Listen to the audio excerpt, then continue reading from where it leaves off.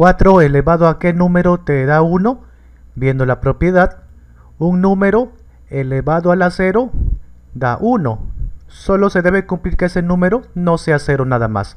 Y efectivamente acá se cumple, ¿verdad? Esto no es 0, así que le puedo poner el exponente 0 acá y listo. No olvides, un número elevado a la 0 es 1.